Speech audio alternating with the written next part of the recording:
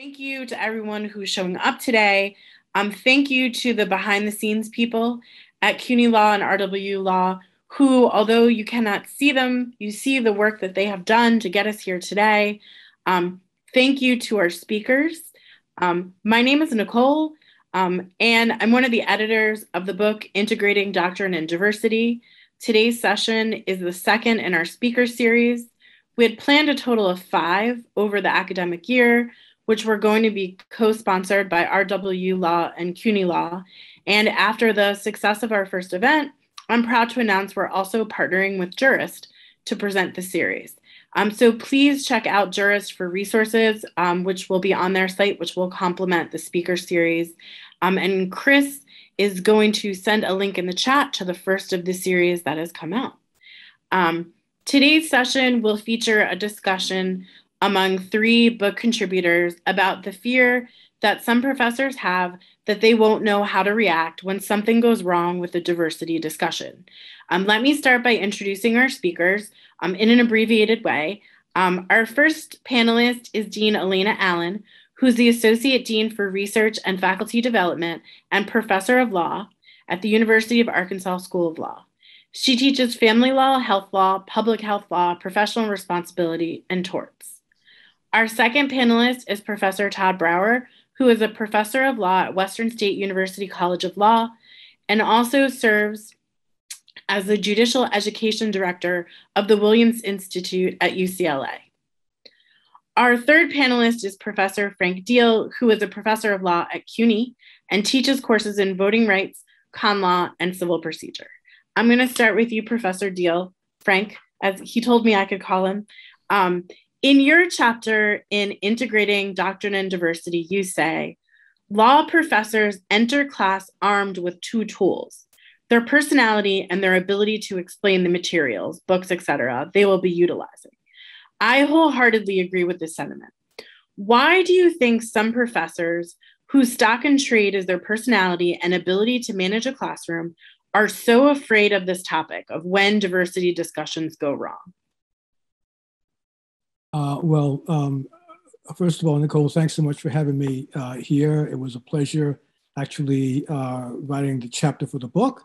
Uh, it was a pleasure uh, watching the discussion that took place a month ago, and it's a pleasure being here today. Um, so um, uh, I think that, um, first of all, there's a lot of turmoil in the society, a lot of change taking place. Um, I don't have to name the things, the pandemic, I mean, you know, the Trump election, a lot of things happening, uh, which have certainly infiltrated the schools, meaning that our students, uh, you know, come to us uh, during these difficult times, uh, still trying to essentially get a legal education. Uh, certainly my observation is that those students are really attuned uh, to the dynamics happening outside of the society. And I think that they um, you know, really uh, hope that we as professors are responsive to some of those dynamics taking place. And I think that therefore, because we're all, we are in this midst of change, uh, it's really kind of hard to predict, uh, you know, just um, uh, the direction that things are going to go. And I think that the search for this direction is one that has us all somewhat anxious in terms of being able to be responsive uh, to our students. Uh, I think that when it comes to the race questions, it becomes even more uh, of a concern because um, uh, that is the cutting edge of so many of these issues. I see that as a professor, and it was in my experience in my lifetime. So I think there's just so much uncertainty out there, and that uncertainty brings about an anxiety of being able to respond to it when you're talking sometimes across generations to people who are coming at these things somewhat very differently. Thank you. Um, Alena, this may be too blunt a way to ask the question, but do you think the fears that professors have about diversity discussions gone wrong, fears that seem to hold professors back from fully engaging in these diversity discussions in the classroom, are well founded? Or does this feel more like an excuse to continue the status quo of maleness and whiteness in a law school doctrinal classroom? So, this is going to be too blunt of an answer but I liken the diversity discussion to parents talking to their kids about sex. It's uncomfortable. Nobody is really rah rah, let's do this, but it's still vitally important. So I think the discomfort is real. People are uncomfortable, but that's not in any way, shape, or form a get out of jail free card. It needs to happen. And so for me, you have to get past the uncomfortableness. Uh, you just have to push through it. It's there. I think it's real, but it's a worthy goal. We need to be discussing this. And I think it's uh, imperative that we do it. Thanks. Todd, I'd love to hear what you think about this. Well, so obviously, I am the older white male on this panel, um, but I actually agree with both of my colleagues. In other words, it is uncomfortable, and it's uncomfortable for all of the reasons that people said, plus the one, honestly, we law professors like to be in control. We're in the front of the classroom, and people are writing down what we say, or at least typing what we say, or we hope so. Um, but and that that puts a lot of pressure on us but it doesn't make any difference alena's right you just have to have the conversations and you have to have the conversations the way they are and the way that they develop you have no control over that really you just have to roll with it and think about what am i going to do what would i like to do what am i it's, it's planning it's like planning any other part of your course you have to have a goal in your mind. You know, why am I doing this? What do I want people to get out of it? And so I think beyond that, you just have to push through the discomfort. And the more you do it, the I won't say the better you get because I'm not sure actually if that's true. But the more you do it, the discomfort level goes down a little bit because once you start having conversations, that's the most important part. I think what's unique about it, maybe not totally unique, but there is a, a vulnerability that is required of us that may not be required of us when we're teaching other things in our topic. And it's that vulnerability which makes the conversation so rich, but it also makes them really scary. But like I sort of stand with you all, obviously, like that's not a reason to not do them. Um, it's just a reason, like maybe that's the reason you feel as uncomfortable as you feel. Um, Alena, in the book, you describe a statement you make on the first day of tort law, which starts I am obviously a Black woman. As such, my life experiences inform how I view tort law. As a person of color and as a woman, I am particularly sensitive to how the evolution of tort law has largely evolved without input from women or minorities. I'm also sensitive to ways in which tort law perpetuates inequality. I realize that some of you simply want to learn what the law is and that you might not be interested in the broader policy discussions. However, discussions about broader policy objectives are critical.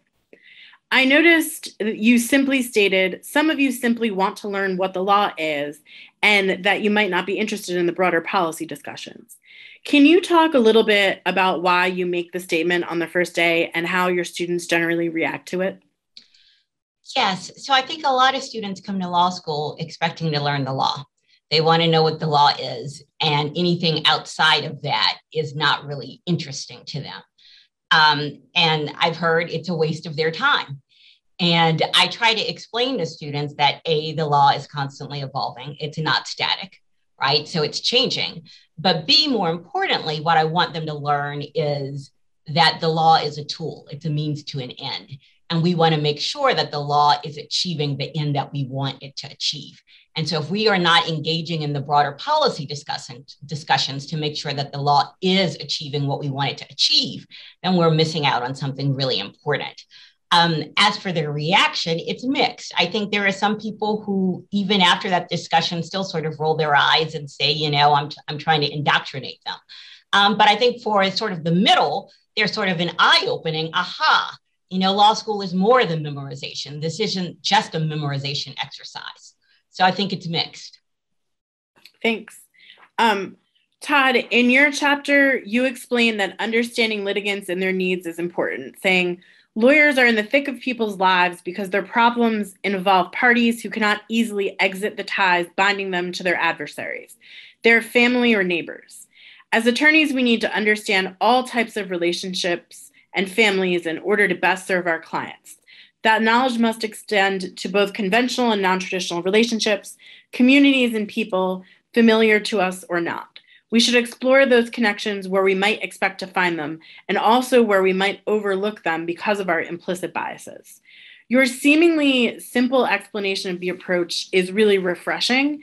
Um, so, do you have students who, like Professor Allen, just want to learn what the law is um, to the exclusion of understanding the litigants or understanding the con- the context or understanding who is and is not in the discussion? Oh, well, of course. I think we all do. Um, so I was speaking specifically about property. And property is different from other first year courses in that these people have relationships and that the problems they have often, as I said, are with families or neighbors, peoples with whom they have relationships. And and are going to continue to have relationships, unlike a tortfeasor who's going to go off and do something else. Um, and, and so that the relationships are important both to the material that I'm teaching and to understanding the larger context. In other words, how do we understand how someone is going to plan to take care of their family without understanding what their family looks like, without understanding the pressures in society on that family and the, the prospective future that their children may or may not have based upon who they are, where they live, all of these things. And so that by coming at it from that perspective, by integrating it into the doctrine, like, why do you want to know this? What, what difference does it make whether this is an indefeasibly vested remainder or a vested remainder? That doesn't mean anything to anybody except that these are tools to do something specific. And that that's what I think Alena was getting at, but in a different context so that by talking about the tools in the context in which they occur for the needs that people have, I think it breaks down some of the barriers like, why do I need to know this? Just give me the facts, just give me the rules, because the rules aren't rules, they're, they're tools. And that it's important to see the whole diversity discussion in that same way that it's a tool to do something with and therefore be part of our lives as lawyers. Thanks. I get really triggered by these discussions. I just want the rules. I just want the rules, you know, as if the history of all this, of how things came to be in these cases, are somehow not like just facts. Um, and so some of it, sometimes it's hard to have these discussions without getting all riled up. Um, so, Frank, the real question we're all here today to discuss is what do you do when things go wrong? Um, I have a few strategies that I employ, but can you talk a little bit about what successful strategies you employ when a 1L discussion or any L discussion about diversity becomes contentious, problematic, or even harmful? Um, I think you're muted. Okay, thanks. Um, uh, I actually think there are um, some things that you can probably try to do uh, to um, sort of prepare for a situation when the situation arises, because it is going to arise at some point. Uh, and that is essentially this. I really try as best I can from the very get go uh, to have a relationship of respect with the students in the sense that um, I respect them and I respect their concerns and their desires, and I kind of expect uh, some of that respect in turn. And I really try to keep the relationship as smoothly as smooth as possible from the very very get go. I do that because I really think that when something goes wrong, uh, my belief is that um, you're going to get a lot. Um, uh, you know, students will cut some slack for you if there's an overall respectful relationship that you've already established. If, on the other hand, uh, the relationship is a is a is a tense one, from the beginning and you kind of you know screw up in class or one of these questions uh, you know i think students are going to be less forgiving about it. So i think that you know just from the get-go i try to establish as good a relationship as possible with the students in anticipation that you know something might come up but also because i think it works as an end in itself.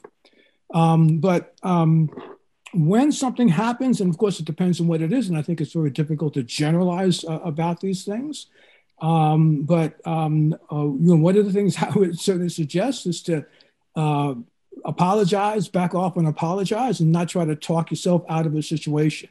If you've done something or said something which um, uh, drives the students back up and it kind of becomes an issue, I think that you know, since you are the one who's running the classroom and your statements which have come up, I think you need to sort of back off and apologize without really as I say, trying to explain your way out of it. But on the other hand, there's certain situations where the problem comes not from something you've said, but you know something that another student has said which offends another student in the class. Uh, I think those are a little more difficult to negotiate because I think on one hand you sort of have to be fair to uh, you know the class as a whole and trying to represent just you know respect what the issues are and try to respect the positions of both parties as much you can as much as you can. But I also think it's important to, you know, depending on what the circumstances, to, you know, be clear that there are certain things that are not tolerated in a classroom. Uh, so, you know, I, again, speaking very generally about this, I think it's kind of hard to be uh, too specific. Um, but I do think that when you're responsible, back up and apologize when you see that it's a conflict between students to try to mediate as best as possible, but not try to make it sound as if you know it's equal. You know, both sides are deserving of equal sympathy because that may not be the case at all. Thanks. Um, it's hard because there are sort of these like first of all it happens really quickly and also there are these sort of competing interests where what would like offend or is offensive to some people isn't to others and it's all happening in real time. Um, so i sort of reflected about some of my biggest oh my god moments um, and i just wanted to share a story. Um, last semester i had this moment in class because and i wanted to share because it was a, a you know nicole nicole gone wrong moment. Um, i co-teach a class called race and the foundations of american law um, and my general philosophy that I share with students in, in, the syllabus and on the first day and then throughout the class is that I am going to mess something up. And um, I am not always going to get it right. And um, the students might mess something up. My co teacher might mess something up. I'll probably not because she's amazing. Um, but I am definitely going to. And I, in order to teach this class, give myself the grace of knowing that. Not that it makes it okay, but I think the cleanup and the fix and the struggle through it is sort of the lesson, not just like the messing up part. Um, and so um, last semester, towards the end of the semester, we were discussing possible solutions to the systems of oppression in American law. And a female Black student raised her hand, and I called on her. And she posited that the only solution that she could see that would be effective would be a race war. Um, and so, surely, this was, you know, my moment of things going horribly wrong. I am teaching, and one of my students is like actively what appears to be advocating a race war. And I'm like feeling this like pedagogical car crash in slow motion of, oh God, what did I say? Why did I call this person? And now that she said it, what do I do? Um, and I got super defensive. Um, and you know, it was like immediately my head was like, surely there is some solution that doesn't involve violence and a race war.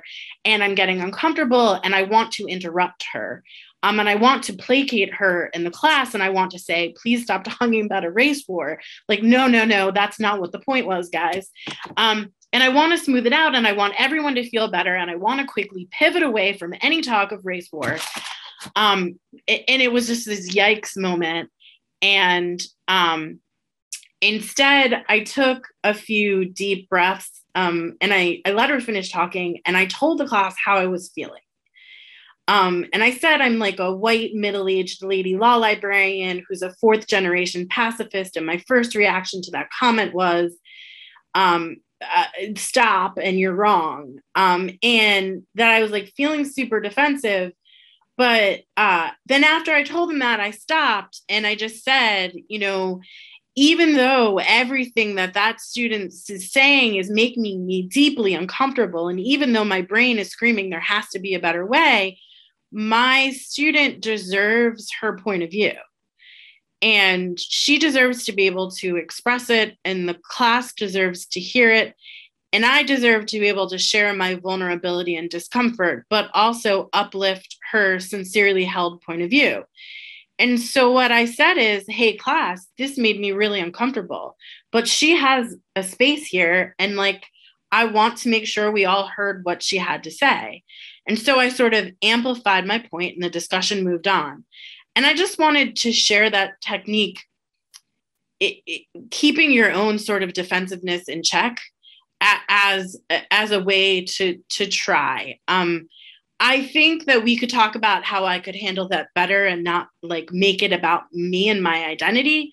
Um, but I did like feel like I refused to give in to my own defensiveness and wanting to like smooth things over, maybe because of my gender, maybe because of my race, maybe because my personality, and just like sort of let it go. Um, so, uh, Alena, can you talk a little bit about any strategies you have which have been successful um, on how, what do you do when the conversation takes a turn? So, I think Frank um, sort of captured what I wanted to say, which is I think you begin with um, a safe space, creating a safe space for your students. You begin with talking to them about their professional identity and that this is an opportunity for them to learn to disagree respectfully. And I think when you sort of set parameters at the beginning of the discussion, they have almost always risen to the occasion for me. Um, and so I have had very few, I can only think of two and 12 years where I would say things sort of went south for me. Um, and, and when they did, I would say, okay, take a deep breath, everybody collectively, take a deep breath, and let's think about if what was said was what was intended. And, you know, I've told the student to think, right? And the student will self correct. And both times they self corrected and they said, well, that was sort of inartful. And so I have found that students are very forgiving and that no student wants to be a pariah. And so if you give them that space to sort of reflect and then give them the time to correct, they've always corrected for me. That's great. That's really great to hear, especially that you've tried it and it's been successful all the times that you've tried it. Um, I also think the um, letting it simmer beyond one class can help. So, especially if it's like something that you said or something that happened, we want to have reacted the perfect way the first time, but we might not have. And so it may take coming back to it at the beginning of the next class or even addressing it over email. Um, and maybe that's not the best solution, but it can be a solution to take the deep breath, get out of the moment, and then respond over email in some way. Um, Todd, can you talk a little bit about any successful strategies that you have in these situations? Well, so my thunder has been stolen a bit by what everyone else has said, um, because I absolutely do think that both parts are crucial, starting from the beginning of class with respect, and it goes two ways, and with vulnerability in terms of like, I am who I am, and I'm going to make mistakes. And, you know, that's fine. It's a cooperative learning experience shared between all members of the class. So I think that's important. It's also important, of course, to create the sort of the ground rules for what discussion looks like across the board, including these issues, because as part of my thinking is they're not really different from other parts of the course. And so that student responses to other students is the same thing we would ask. And that we model that behavior every time we talk about student responses and students respond to other students. And that if you start with that, it is true. I think students do both rise to the occasion when necessary, self correct when necessary. And you can also treat, so in addition to you want to rephrase kind of idea, I sometimes just explore what the issue means. In other words, if you treat someone with respect, you treat their ideas with respect. And so that it may be an idea that may not be comfortable to me or may not be comfortable to other people in the class. But it not only deserves to be heard, but okay, can you explain why this is? Can you talk more about that to see if we can make a fuller point there. It's it's similar to the self-correction, but it doesn't necessarily mean that the person corrects what they wanted to say. It means that they simply explain what they want to say, and we have a bigger context again for our discussion. Um, and sometimes just things go wrong. I mean, and you and you live with it, and and you can come back as you say the next day, and um, and if you've made the mistake, I think Frank is exactly right. You apologize, and because you're human too, and I think that's part of that respectful treatment of you and your students and the, the bonds between you. Um, so I guess we all talked about sort of setting out ground rules at the beginning or expectations about how the discussion would go. Does anyone want to share any rules that they put in place in their classrooms? Well, one rule that I have is don't interrupt. In other words, the student who's speaking has the right to speak and finish what they're saying. And then there can be a response. Um, but we're not engaging in in this free form fighting kind of stuff. And I actually wanted to say one other thing that I forgot. So the the question was about diversity becoming contentious, problematic, or harmful. Harmful for sure. You, you need to figure out. Con- problematic, yeah, probably.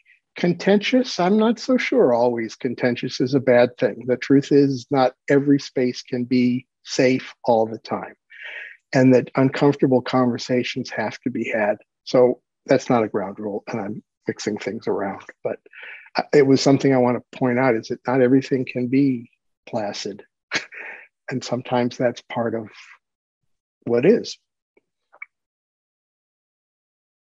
Frank or Alena, do you want to add on ground rules or discussion expectations?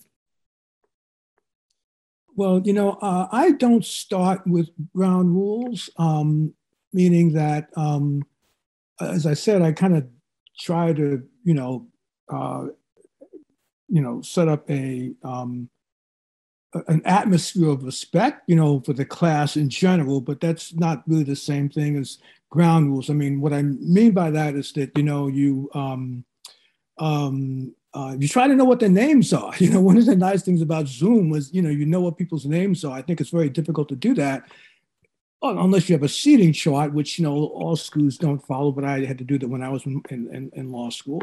Uh, just try to know what people's, people's names are right? Uh, you know, you, you get a question from a student and you kind of respectfully respond to the question. So I don't really kind of start up a ground rules other than, you know, trying to create an atmosphere of respect. Uh, but as we go along, you know, and things pop up, then you might have to start kind of directing, putting some rules in place to deal with those situations. I mean, one of the things that's happened since we've been on Zoom are rules for the chat, you know, because all kinds of things are up there that, you know, end up, uh, uh, you know, permeating uh, the class. And so kind of have to make rules about that. And I've been doing that kind of as I go along, because on one hand, I, I, I believe, especially on Zoom, I think the students really should have the opportunity to communicate with each other because they're not in person and not talking to each other that much. But at the same time, uh, you know, it, it doesn't work because some of the disagreements get kind of difficult and hard to deal with. Um, so I've been kind of doing it as I go along, and um, you know, it's kind of hard to say. I mean, I've had some really difficult situations. In fact, one where um, the dean had to intervene. I was teaching a, a, a, very small voting rights class, maybe 10 or 11 people in there. And uh, one of the students was much more conservative than the other students in the class. He was a, a white male who was an evening student. And, you know, it turns out that every time we were having a discussion, you know, uh, his perspective would really upset uh, the other students. And one particular African American woman would really go off uh, whenever he basically said something. And that was a really difficult situation to deal with because, I mean, I was, it was possible to sort of, you know, in terms of talking about doctrine and the law to, you know, kind of respect the necessity of, you know, you got dissenting opinions and you have majority opinions. And a lot of the differences that will coming out in the class discussion were who agreed with whom, basically. But it actually got somewhat personal because one day I went in the class and these two students were at each other just because of where they were sitting, right? Um, and in that situation, I really found that I had to, you know, kind of start talking to them one on one to figure out just what was going on.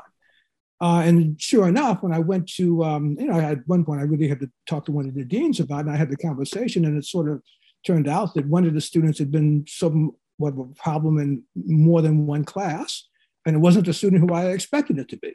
So, I mean, you know, sometimes these things really do get out of hand, and, and it's, it's hard to know uh, just uh, how to deal with them. And you're going to sometimes have to ask for help. But I certainly wouldn't want to leave the impression that, you know, these uh, things are easy to deal with. We're all going to kind of get caught up in them at some point in time. Uh, and uh, if you can prepare for it, I think it's fine. But sometimes it's, it's just going to blindside you.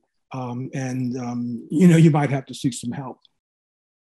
Alena, did you want to add anything? As Todd said, number one, don't disres- I mean, don't interrupt. And number two, agree to disagree respectfully. Those are sort of my only ground rules.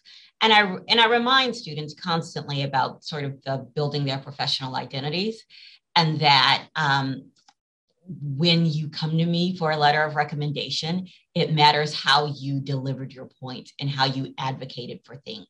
And so I try to remind them that, you know, these conversations matter and they can be constructive or they can be harmful and they're in control. And if they, you know, sort of delve into the harmfulness, it can impact them negatively, um, whether it's a letter of recommendation or just their, um, their fellow colleagues, their fellow students, just not wanting um, to interact with them.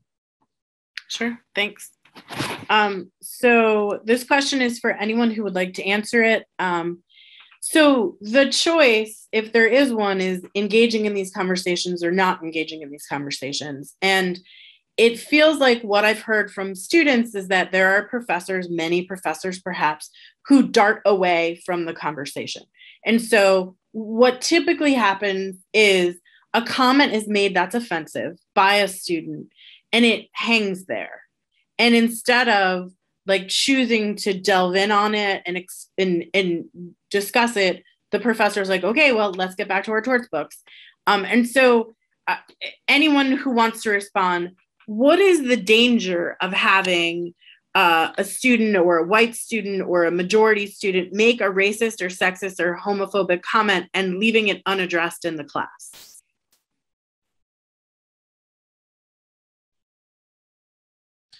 So I would say I think it's important to distinguish between unpopular and sexist races are problematic because I think there's sort of a gray area where one person might take offense, but I'm not sure if it's necessarily generally offensive, right? And so I think I think it's important to unpack it to say in response, I know this is how you feel, but others upon hearing that comment might feel this way because of X, Y, and Z.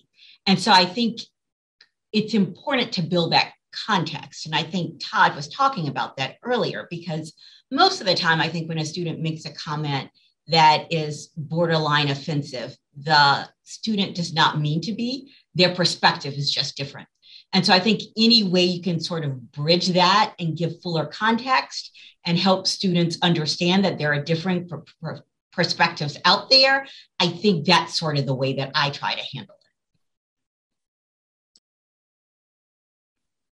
it. I, I think that that's right. Um, I also think that, in fact, if it is honest to God racist or any of those other things, you have to address it.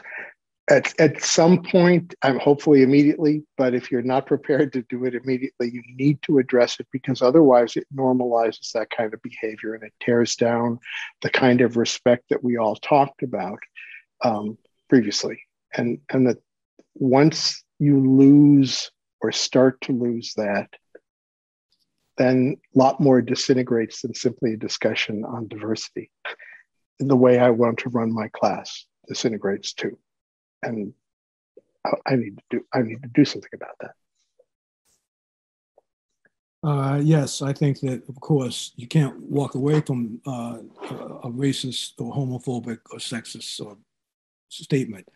Um, uh, I think that the difficulty is really knowing when that's happening. I mean, there, you know, obvious statements that can be made which are easily identifiable as fitting in one of those categories. But I think that a lot of the difficult situations, and I, for one, I don't, I, I think it's less common to hear those outright racist statements in the environments that, at least where I happen to teach. Um, uh, I'm kind of really proud of that, but the, but but it doesn't mean they're not out there. They just come in, in a much more subtle form, and it's not so easy to identify them. Now, I think we are comfortable as professors in sort of you know um, surfacing uh, differences when we're talking about the law um, or policies or things like that. You know, reflecting that what happens in judicial opinions. Uh, I think we're sort of comfortable sort of dealing with dissents and disagreement along those circumstances. But a lot of the things that erupt in classrooms are not about that. You know, they are, as I say, much more subtle. Like, for example, um, um, I was having a discussion in one of my classes about the uh, uh, George Floyd uh, situation, uh, and it was after the conviction of the officer in Minnesota. Uh, and we were having a discussion about, well, you know, what, why was it that, what do you think it was that, that, that stirred, act, brought about action in this case? Meaning that, that there was such an overwhelming movement uh, to get the prosecutions in place, to get the conviction in place. What, why do we see it happen in this particular case as opposed to so many of the other uh, police killings which have happened across the country where you know, there's been no reaction at all. In fact, there's no indictment. Uh, the officer pays has no repercussions whatsoever. What, what, was about the George Floyd case that triggered so much of the events which led to his uh, ultimate conviction? We were having a discussion about that, uh, and you know, one student, um, uh, you know, a white student, um, saw us talking about the actual video and how watching the video and and and the pleas, you know, for his mother to help, and it just it just it just that was just caused the eruption which happened worldwide. But you know that response drew a hostile response from a student of color who kind of was of the view that the white student was, I forget the word she actually utilized, but um, shouldn't have been talking about that uh, during the discussion. Uh, it was like um, um, you know dissecting black bodies and a response that people were having to watching a black man go through uh, this horrible horrible experience. And that was a very difficult thing to sort of come to grips with uh, as a professor um, but ultimately you know i kind of had to give the, the, the talk which i can give at cuny but well, it may be more difficult to give at other law schools whereby we have our mission. We kind of choose students because they're devoted to the mission. We're all here because we really want to bring about social change and social justice. People have different ways of doing about it. People have different strategies for doing it, but we're sort of all in this together. And we have to be able to talk to each other about it in a way which is going to move us all forward. Um, I, I could have that discussion to try to even things out, but you know, there you know, you know, it's it's harder to identify what the problem is than when you are dealing with an outright racist statement, right? Um, that's that's the fear I have because I think that some of these situations are so subtle. Um, and again, you're talking across generations. You could miss something and miss the significance of it.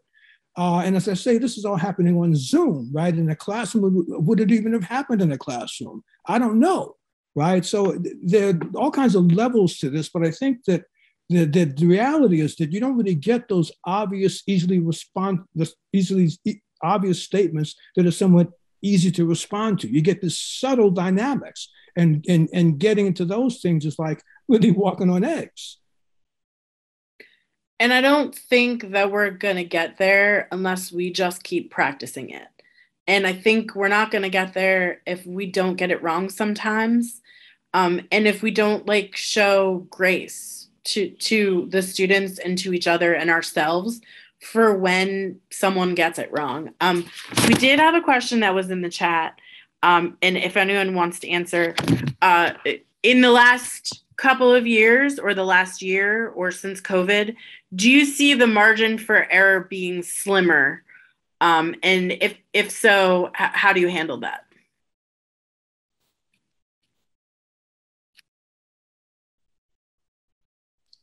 So I'm back in the classroom right now. I'm teaching in person for both of my classes.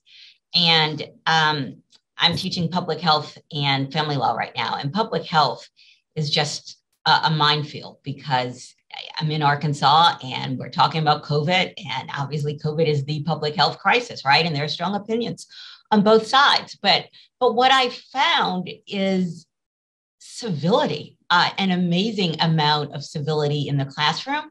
I think in part because we are together and people are just so happy, even, even though we have a mask on, people are just so happy for that community that I don't see people or my students trying to destroy it. I think they're trying to have discussions, they're trying to disagree respectfully, and they are engaging. But I haven't had any sort of anything remotely go off the rails. And I think it's in part because they were on Zoom and they realized now that we're together, there's something special about it. So for me, I would say no, is my perspective. I guess I would. So I'm back in the classroom as well. Um, and some of my students this year are students that I had last year when we were on Zoom. And I noticed that same thing. Whatever is going on in greater society in terms of people being stressed and fragile and all of these things, the classroom is an interesting space because it's different from that. And although the outside world comes into the classroom, there is this feeling like, oh, I, I, I've been seeing you for a year from this big, and now you're a real person, and you're shorter than I thought, or you're taller than I thought, and and that it really it, it allows for greater like we're in this together kind of thing. So I agree with Alena that there's something that's not going to last all that long, but it's it's going on right now at least in terms of those of us that teach live in person.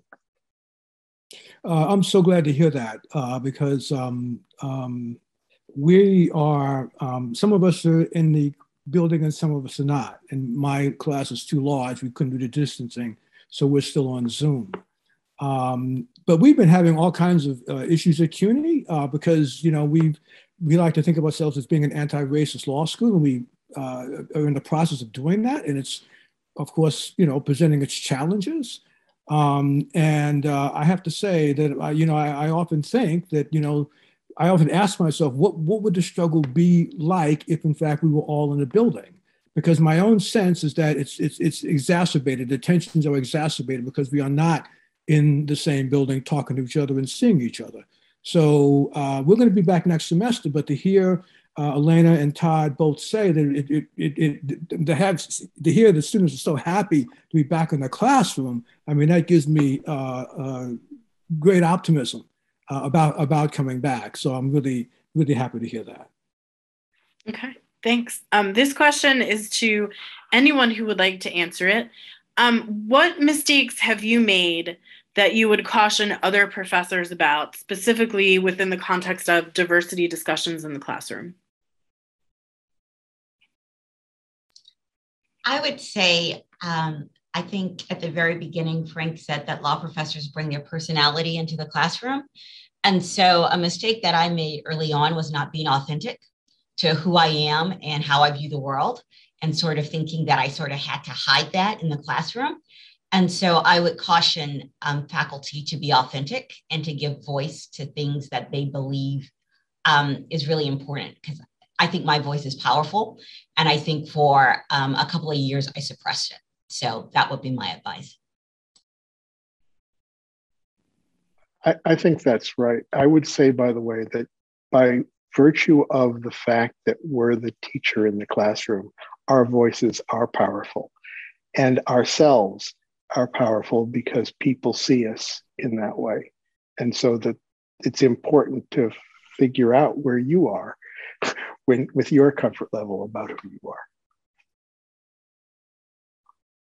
Uh, I've talked already about some of the difficulties that I've had, but I want to just share one other story, which um, uh, is, is actually kind of intriguing to me because um, this happened a long time ago. This happened maybe maybe even six or seven years ago. I was teaching this case, um, Singleton v. Wulff. It's a third party standing case, and it kind of has to do with the extent to which medical providers can, in fact, raise claims in litigation for um, people seeking abortions are not themselves before the court. And, um, you know, I, I, was, you know, going through the opinion, and of course, I slipped into the phrase of women seeking abortions. And, uh, you know, a student wrote me an email, very kind, gentle email after the class, sort of pointing out to me that, you know, it, it's, it's people seeking abortions and not women seeking abortions. And I kind of recall that story because this happened a, a, while ago. This really happened about six or seven years. It was nowhere near on my radar, right? And I really appreciate that the students sort of, you know, raised this at the time so I wouldn't, although I still do it occasionally, make that mistake. Um, so, you know, as I said, you know, uh, in terms of being woke, I mean, it, it amazes me that uh, six years ago, uh, students were so, so careful about the language and I didn't have a clue right until I basically uh, got the email. And thanks everyone for you know sharing the mistakes they have made because um, I think that that one of the mistakes we make is not being vulnerable and so i appreciate that we're all sort of willing to say this is something i could have done better or i learned to do better over time um, i want to briefly discuss the materials we use in class um, we're going to talk about this more in a future conversation, but um, I have you here today. So I want to talk about your thoughts about casebooks. Um, Todd, you specifically discuss the student assumption of the whiteness of litigants in our casebooks, saying in the book, teachers should challenge the default assumption that property litigants do not have race or are white. You go on to say classroom discussions should be relevant beyond the close of the semester or of law school, but be valuable well beyond uh, into students' legal careers. Students must realize that diverse people and relationships are part of the legal world. By engaging solely with what judicial opinions choose to make visible, we sometimes ignore the real people behind case captions. Can you talk a little bit about why this is important and if you have students that chafe against this focus on identity and what do you say to them? Well, so I, I do think, of course, it's important. Um, and it's important because the way cases are written, um, oftentimes litigants are simply described as people who want X, but we never really talk about why and why is related to who and who is related to context and everything else. And, and so it's part of that thing that we, I talked about earlier that we all discussed the idea that seeing people as people means seeing them in all their dimensions and not just the one that has to do with whatever it is we're talking about, easements or God knows what. Um, and that when, so I, my students, because of the law school I'm at, are pretty much going to be practicing lawyers.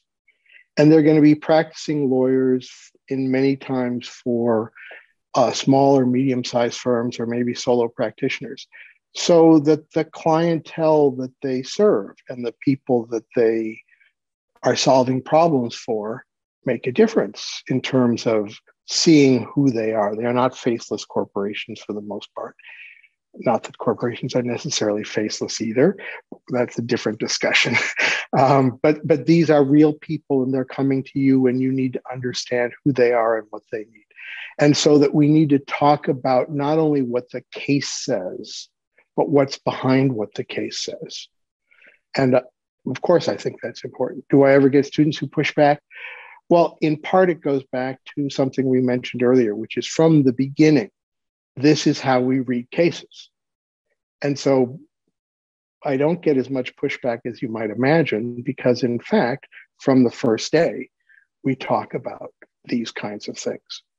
And it's part of our normal discussion um, from that perspective. If I did, I would explain something hopefully better than I said right now. Thanks. Frank, did you have anything you wanted to add?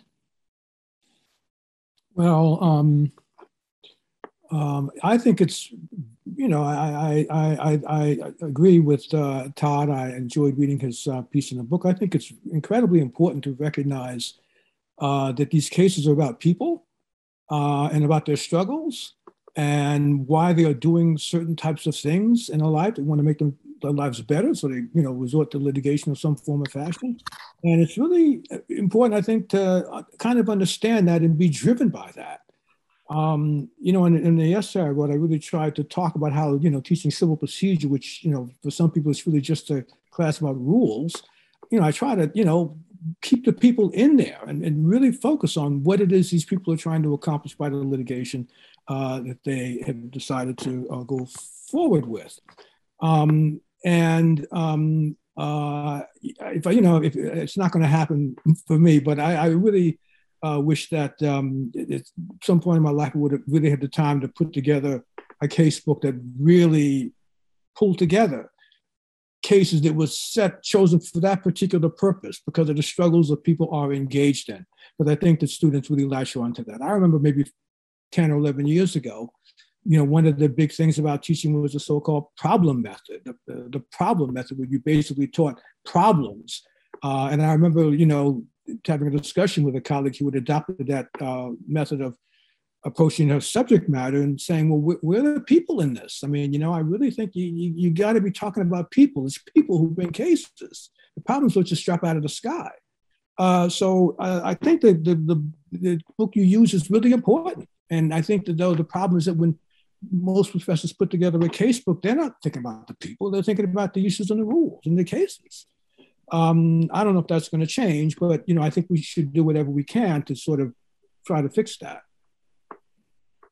I think that that's like a theme I'm hearing on all sides of this that there is a humanity that needs to be brought to bear. And whether that's the humanity, focusing on the humanity in our materials or within our relationships or the way we run class or when someone makes a mistake, there's a humanity here that we need to more fully embrace or continue to fully embrace, depending on sort of where we find ourselves.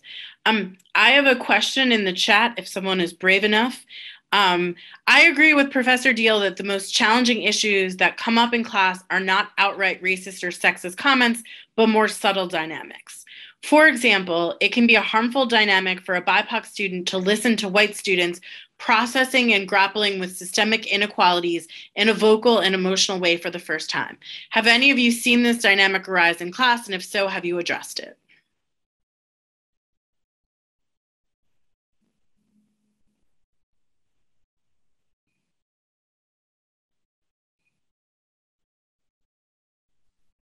So I'm not sure if I've if I've necessarily seen exactly what the um, questioner has described, but but I definitely have witnessed um, students of color listen to white students um, grapple with things that they have been grappling with all their lives, right? And so um, I I think for me, I'm always telling stories about parenting kids of color.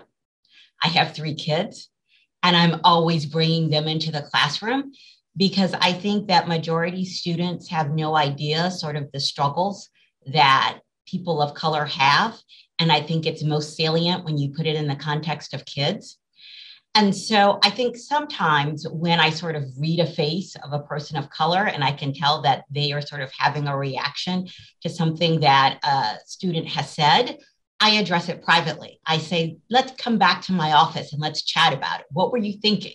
Like, what do you want me to have said? Do you think I needed to say something if I didn't say something? And sort of engage that student of color on a one on one level, because I think sometimes they need help processing it and they don't want to process it in front of the majority students. They just want the professor to take time out with them and talk about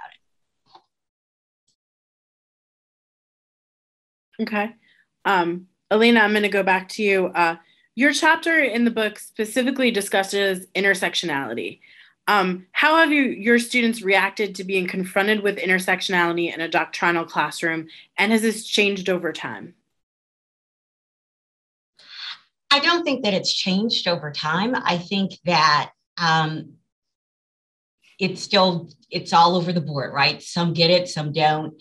Um, some um, have the aha moment.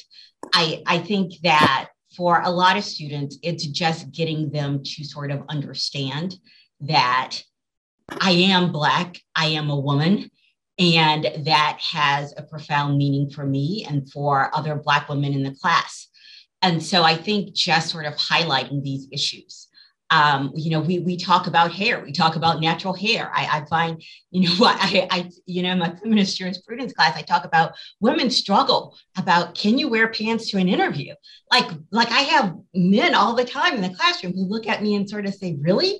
And yes, it's it's real. And so I think it's really trying to get them to understand that their worldview is just one worldview and it doesn't represent others.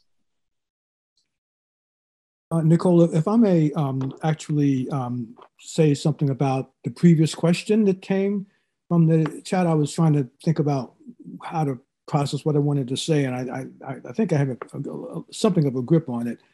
Um, and that basically is this, which is that um, uh, I certainly have seen the situations that was um, postulated uh, by the question, um, but I, I, I see it happening when I'm on Zoom because students can voice and students do tend to voice those feelings like in the chat.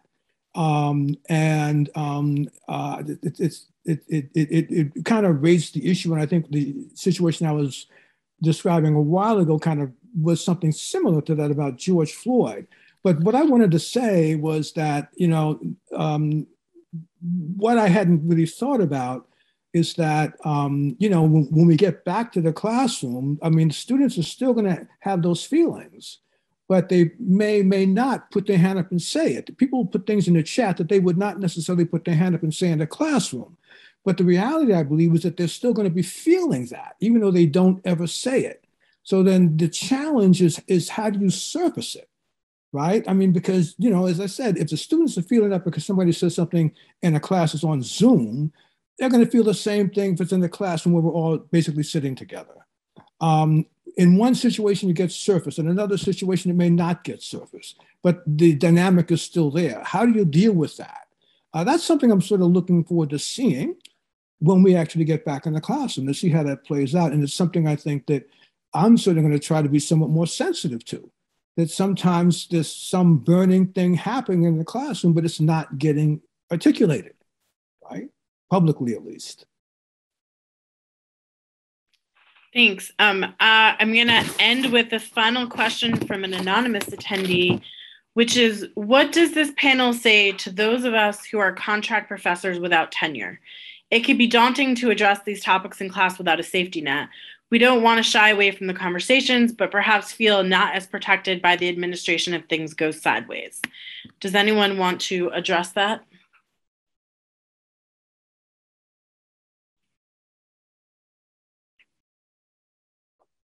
Well, I'll I'll attempt something.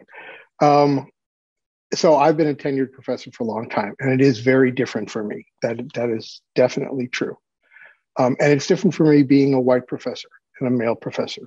There there are different expectations for me, and I have different grace periods um, in doing things.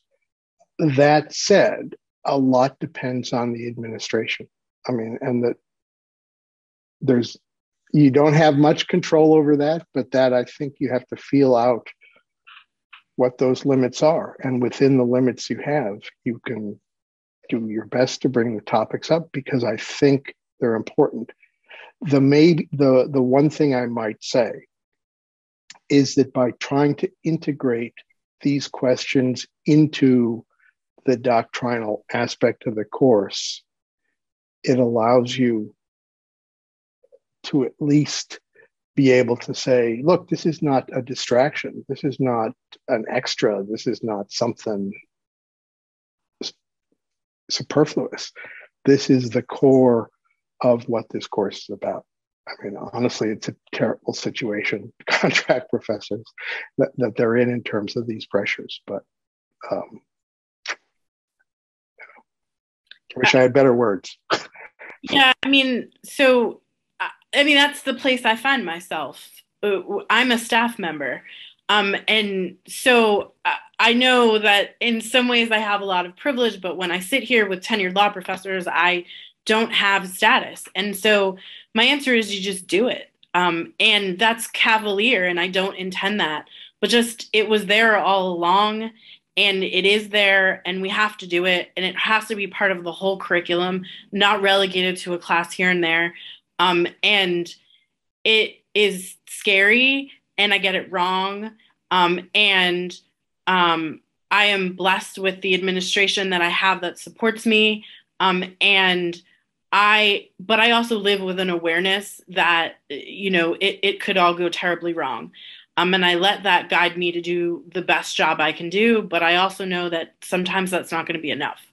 Um, and so I guess mine is just really is just empathy. Yeah, I, I I get it, and it's hard, and I don't know. We have to do it anyway. Um, Frank or Todd or Alena, were there any final comments you wanted to make? Uh, I want to thank you um, for the book, for organizing the discussion. I think that um, you and your co-authors have really um, started something that's very special and very needed. And so I want to thank you for having the foresight and the vision for starting this project. Thank you. I, I, would agree with that. And thank you for inviting me to participate in what has been a really interesting and useful conversation for me. So. And good luck on the second book. Yes. Right? We just announced book two is is headed this way and we're accepting submissions we'll be sending out more information about it. Um, so just to end thank you so much to our panelists for being here today and sharing your thoughts and wisdoms and being vulnerable because these conversations even the conversation about the conversation the meta conversations are not easy. Um, thank you to our hosts cuny law and rw law and jurist. And finally thanks to all the attendees. Please join us next month for the next installation in our speaker series, where we will be discussing the concept of space in the classroom. Thank you, everyone.